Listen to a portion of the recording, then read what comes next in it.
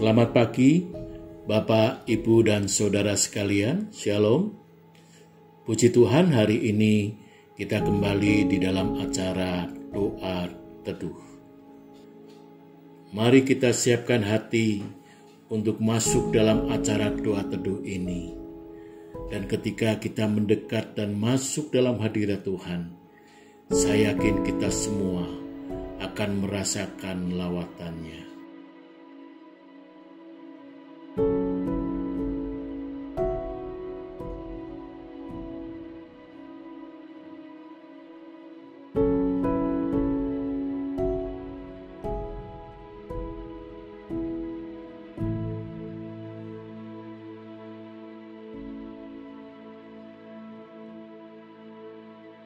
Ayat firman Tuhan pada hari ini terambil di dalam kitab Mazmur 119.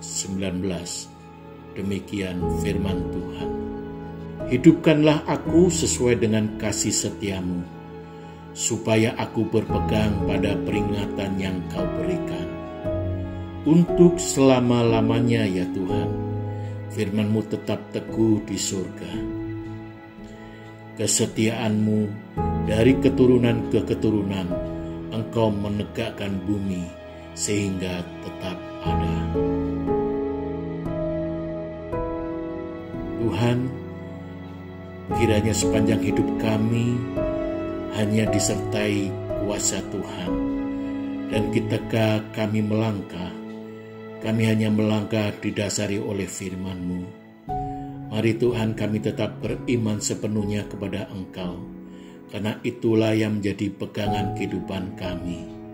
Dan bila firman-Mu tetap teguh dalam hati kami, dan kami percaya ketika kami melangkah, Engkau memberikan jalan keluar yang terbaik, bahkan Engkau berikan kekuatan dan pengharapan yang baru dalam kehidupan kami.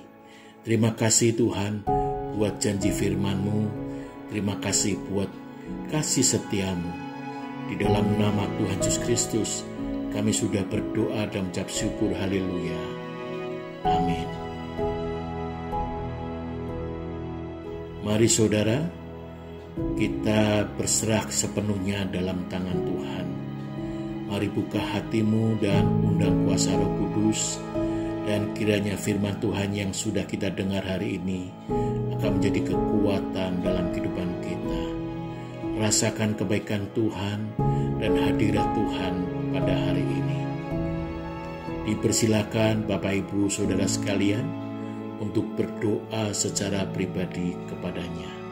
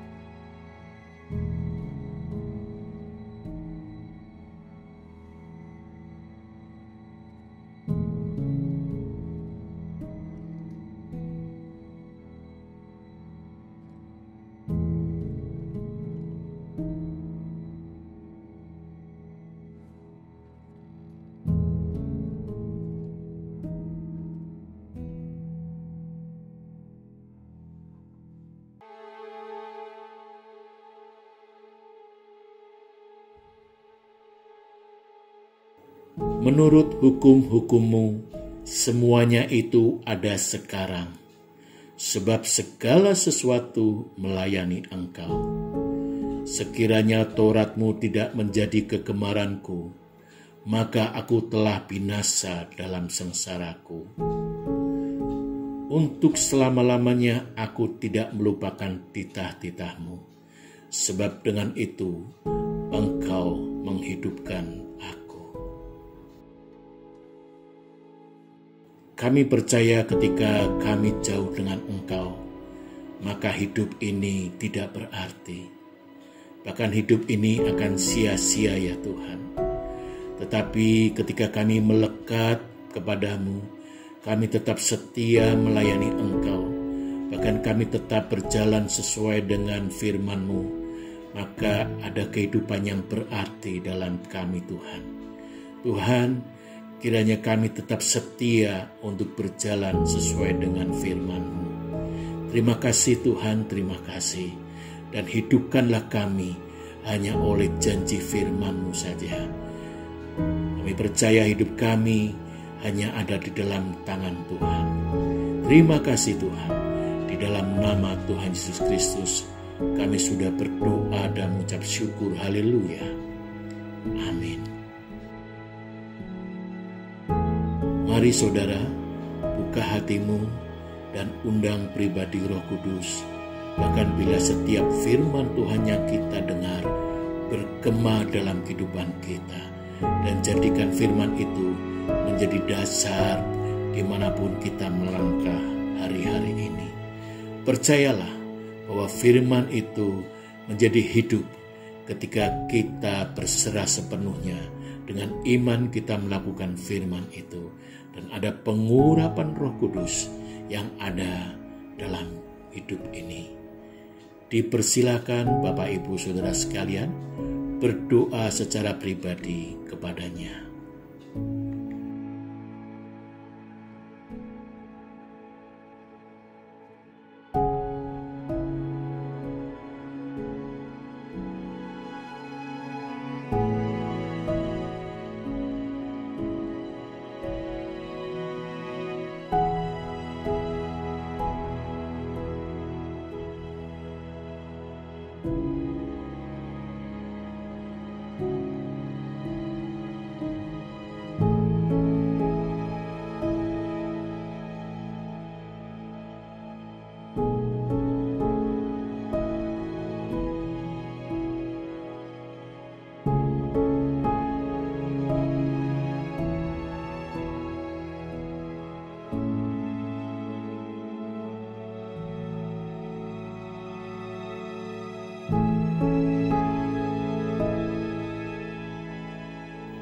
Firmanmu itu pelita bagi kakiku dan terang bagi jalanku.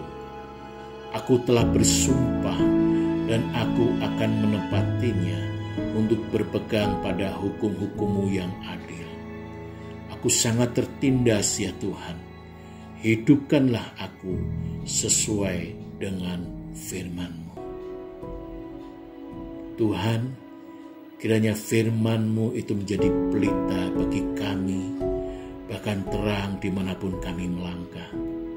Karena firman-Mu adalah kekuatan dalam kehidupan kami.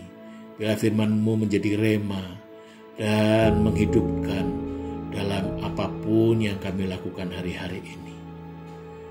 Tuhan ampuni kami ketika kami jauh kepada Engkau Bahkan kami terlalu sibuk dengan apa pun yang kami lakukan, hal-hal rutinitas, pekerjaan, bahkan kami terkadang mengabaikan Engkau. Ya Roh Kudus, tuntunlah kami senantiasa, bila kami tetap mengingat bahwa bila Engkau menjadi sumber kehidupan kami, kiranya Engkau menjadi penolong, dan kiranya Engkau menjadi terang di mana pun kami melangkah. Kami percaya Engkau juga membebaskan kami dari ikatan dosa. Ketika kami hidup di dalam kegelapan, di dalam nama Tuhan Yesus Kristus, kiranya terang cahaya firman-Mu menghidupkan tubuh jiwa roh kami untuk kami tetap setia memuliakan Engkau. Terima kasih Tuhan, di dalam nama Tuhan Yesus Kristus, kami berdoa dan mengucap syukur. Haleluya. Amin. Dipersilakan Bapak Ibu Saudara sekalian berdoa secara pribadi kepadanya.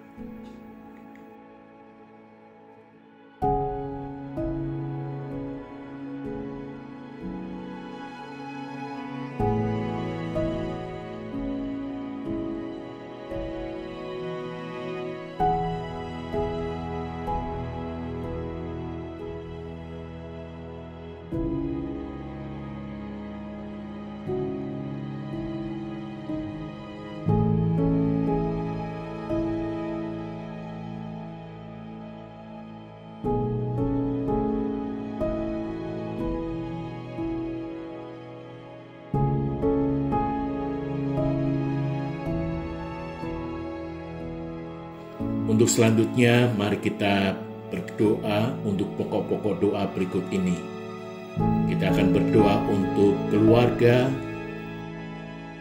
untuk pekerjaan Tuhan dan para hamba-hamba Tuhan, untuk pemerintah dan bangsa Indonesia,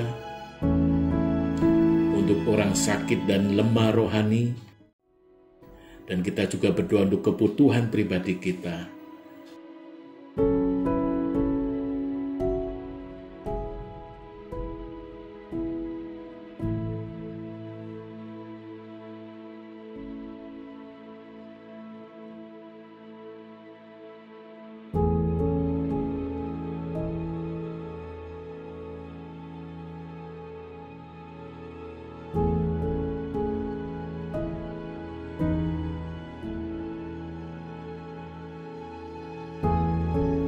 Sebelum kita mengakhiri doa teduh ini, mari kita bersama-sama untuk masuk di dalam doa Bapa kami.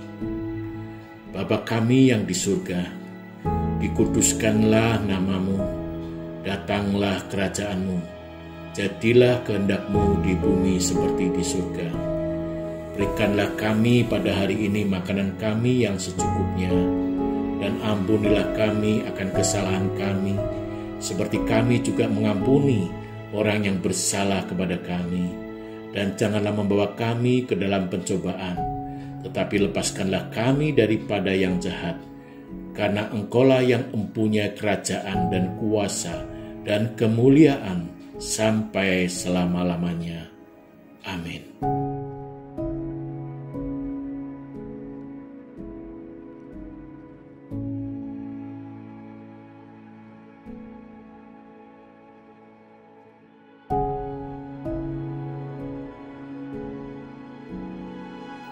Demikian jemaat Tuhan, doa teduh yang kita lakukan pada hari ini. Tetap semangat dan Tuhan Yesus memberkati. Amin.